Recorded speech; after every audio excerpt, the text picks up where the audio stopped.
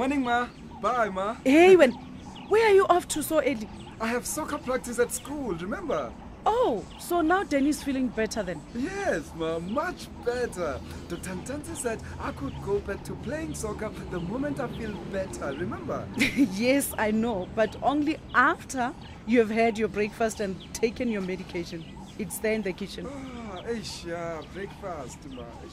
Okay, but I don't need to take those pills anymore. Haibo, you must take the tablets. Ah, Mama, I know you worried about me, but look at me. Huh? I'm fit and strong. I'm not even coughing anymore. Mama, look at these muscles. Danny, if you don't finish the medication, the infection could come back again. Don't you remember anything else the doctor said? I mean, besides talking about soccer? Ah, yeah, yeah. Well, complete the full course of medication. So go and take it then.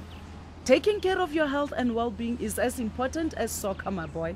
Soccer can wait, but your health cannot. Ah, Mama, ah, you are right, as always. Huh? Yeah, that is why you are my favorite girl in the world. Hey, wait, stop your jokes and get done. Whether you've been diagnosed with a cold or the flu, or even a chronic illness, it is very important to complete the full course of medication as prescribed by your doctor. Stopping medication before the time could lead to serious health complications. Your health is your responsibility. At the Medical Knowledge Institute, we are committed to improving the quality of healthcare through education and public health programs.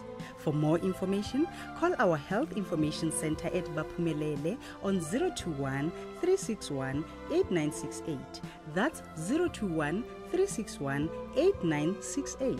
The Medical Knowledge Institute Prevention through Education.